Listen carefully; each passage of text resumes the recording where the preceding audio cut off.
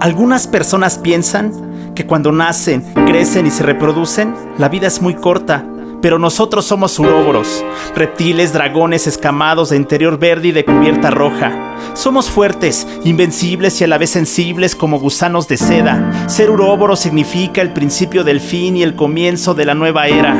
Formando un círculo con movimiento, con el puño apretado en la cara del resentimiento, sudando la gota gorda día y noche en el mismo aliento.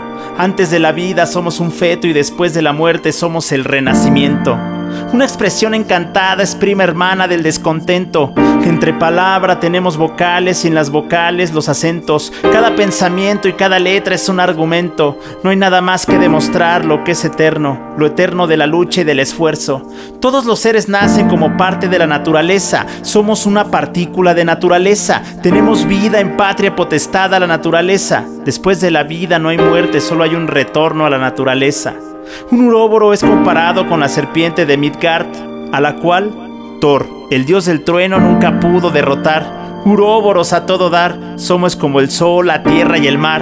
En la creación de las cosas se recalca que todo es uno. Así lo dice la serpiente. Cuando todo empieza y todo termina, significa la relación de lo consciente con lo inconsciente.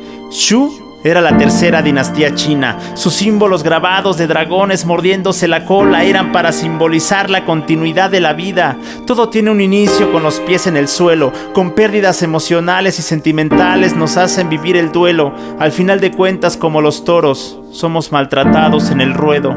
El principio del fin no es el final, es el regreso al origen para comenzar de nuevo.